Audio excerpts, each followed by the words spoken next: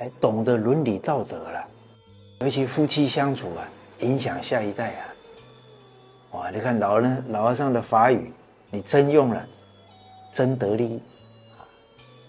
夫妻相处的一句真言，啊，白头偕老一句真言，只看对方的优点，不看对方的缺点，铁定啊，这个夫妻关系就变了。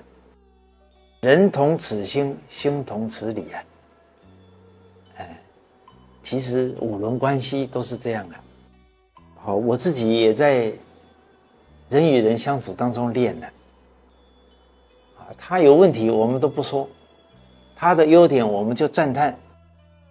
哎，他自然而然了，他不好意思了，自然而然他的善根就起来了。哎，而且对我们呢，我们刚好练普贤行啊。普贤行礼敬诸佛啊，我们把人家的不好放心上了，就不能礼敬人家了。啊，我们没有放不好啊，都看人家好，哎，称赞如来就很自然可以做出来了。而且我们现在要扎根哈，《太上感应篇》说的，男要忠良啊，女要柔顺啊。我们要为人演说哈，哎，男重要扛责任。为家庭尽忠，为社会尽忠尽力，啊，而且善良。女要柔顺呢，啊，你看，男女有阴阳啊。女人不柔顺呢，太刚了，男人的阳气呀，都被遏制掉了，都蔫了。哦，所以现在我们女性同胞说。这个男男众都不够扛责任啊，相互影响，是吧？一个巴掌拍不响吧？大家同意吧？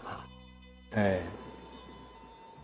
好，所以这个太上老君啊，这么苦口婆心啊，是有他的道理的。大家做做实验啊，男忠良啊，哎，女就变柔顺；女柔顺了，男也变忠良。啊，这个良性循环了，就转动起来了。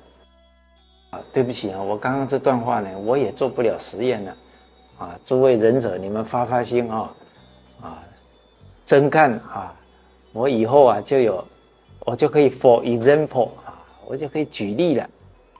哦，尤其呢，你，啊，我看上去我们女同修比较多啊，尤其你本来刚强的，能转过来啊。